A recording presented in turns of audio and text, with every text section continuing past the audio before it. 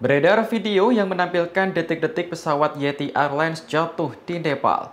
Video itu disiarkan secara langsung oleh seorang penumpang bernama Sonu Jaiswal di Facebook. Belakangan diketahui perekam video juga meninggal dunia dalam kecelakaan itu. Dalam video, Sonu tampak duduk di kursi yang berdekatan dengan jendela pesawat. Sesekali ia mengarahkan kamera ponselnya ke bagian luar dan kabin. Situasi di dalam pesawat cukup tenang sampai akhirnya terjadi guncangan. Kondisi itu langsung membuat para penumpang berteriak histeris. Ponsel yang dipegang Sonu tampaknya terjatuh, namun masih tetap melakukan siaran langsung. Beberapa saat kemudian, video menampilkan kobaran api diduga dari pesawat yang terbakar. Diketahui pesawat Yeti Airlines yang membawa 72 penumpang jatuh di ngarai Sungai Seti pada Minggu 15 Januari. Lokasi jatuhnya pesawat hanya berjarak sekitar 7 km dari Bandara Internasional Pokhara. Pihak berwenang melaporkan jumlah korban tewas mencapai 68 orang.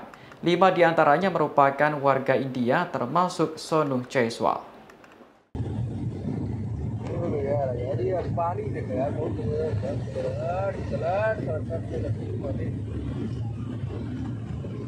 Wow. ਬਾ ਬਟਬਾ ਮੌਜ ਕਦੀ। ਉਈ।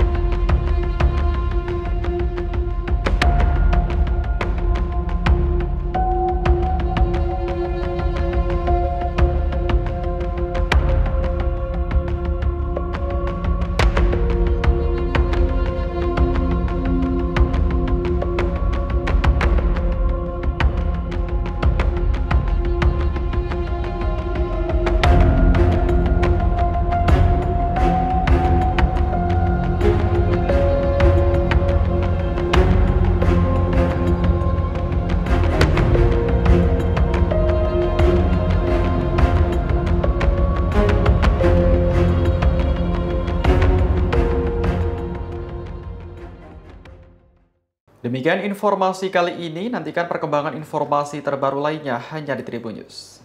Terima kasih sudah nonton, jangan lupa like, subscribe, dan share ya!